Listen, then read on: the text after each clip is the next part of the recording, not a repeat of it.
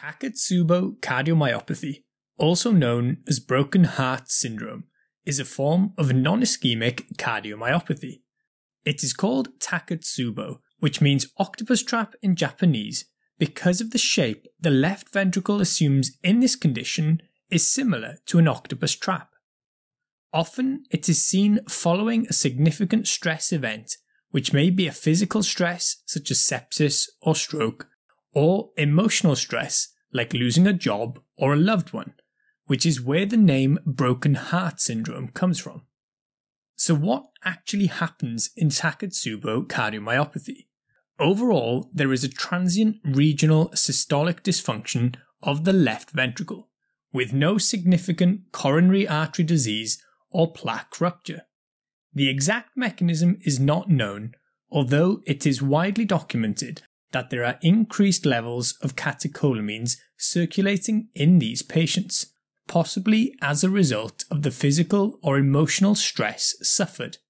A proposed mechanism is that there is microvascular dysfunction and coronary vasospasm. In particular, it is thought there is a predisposition to vasoconstriction due to endothelial dysfunction. That leads to excessive vasoconstriction and vasospasm when exposed to these high levels of catecholamines. This can give acute and transient cardiac ischemia and subsequently myocardial stunning, which means a temporary state of mechanical cardiac dysfunction, particularly in the apex, which gives the characteristic Takotsubo shape of the ventricle. Estrogen is also thought to play a role, as following menopause, the reduced estrogen levels may predispose to endothelial dysfunction. Risk factors include physical or emotional stress, with around 80% of patients experiencing a significant stressful event prior to the condition.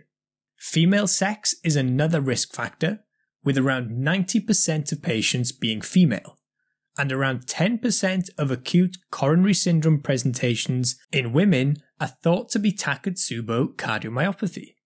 Postmenopausal women are particularly affected, which is consistent with the role of estrogen. The age range most affected is between 58 and 75 years, with less than 3% of cases occurring before the age of 50. This also supports estrogen having a role in the pathology. Endocrinopathies like pheochromocytoma and thyrotoxicosis are other risk factors. The signs and symptoms of Takotsubo cardiomyopathy are similar to acute coronary syndrome. Features include chest pain, shortness of breath, lightheadedness, or syncope. Around 10% of patients end up in cardiogenic shock, and some suffer sudden cardiac death. Several sets of guidelines have been proposed for the diagnosis, and two common points within these guidelines are echocardiography showing transient left ventricular wall motion abnormality. Also, there must be no other condition that explains this wall motion abnormality, such as coronary artery disease, myocarditis, myocardial toxicity, or hypoperfusion. Characteristic ECG changes include findings typical of STEMI, which include ST elevation, T wave inversions, and QT prolongation. In most cases, the cardiac enzymes like troponin are negative.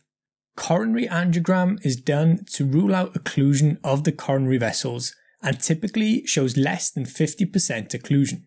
Angiographic findings can include the apical ballooning, which gives the condition its name.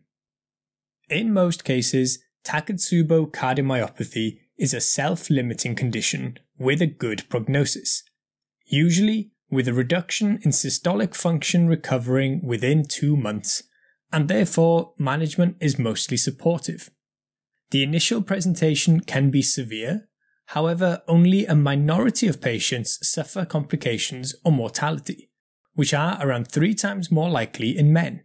Because of the similarity with acute coronary syndrome, patients are often initially treated with antiplatelets, beta blockers, ACE inhibitors, and a statin, while coronary artery disease is evaluated.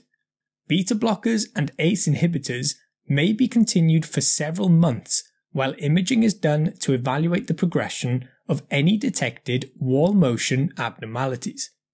Anticoagulation is usually not used unless there are embolic events.